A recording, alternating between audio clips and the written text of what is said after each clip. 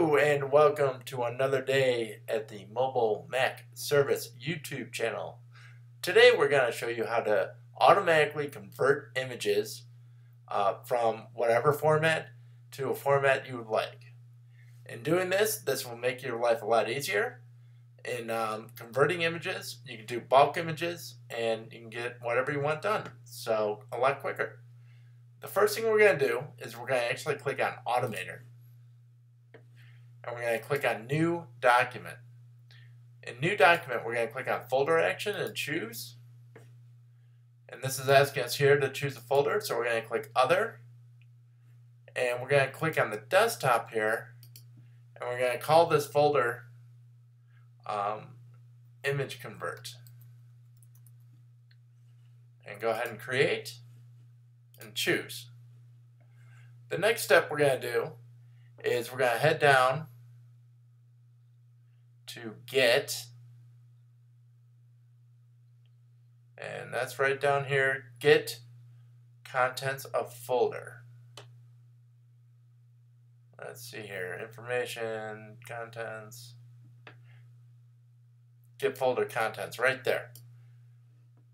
We're going to go in there, and then the next step after that is we're going to go back up to convert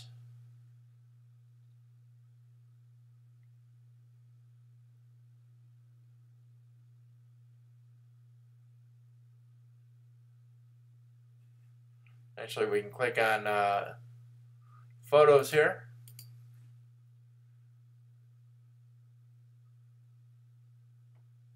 And we can change image type. And that's asking us we want to add an additional action in order to keep the existing files. So you can go ahead and click add. And we want this file to be a PNG However, you can actually use this for BMP, JPEG, JPEG 2000, or TIFF as well.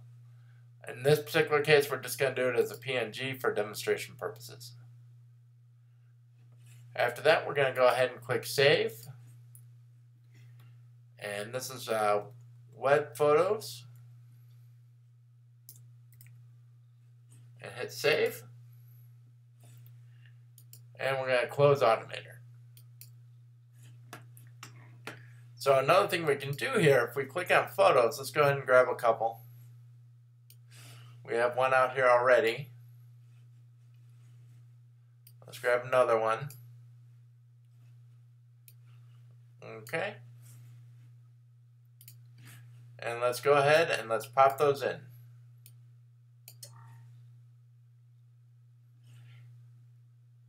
And there you go. We now have our three photos converted to PNG and the original folder the original files are inside the image convert. If you have any questions, please feel free to comment, or you can subscribe to our YouTube channel, and uh, we will keep giving you more tips on how to automate your Mac. Thank you very much, and have a good day. Bye bye.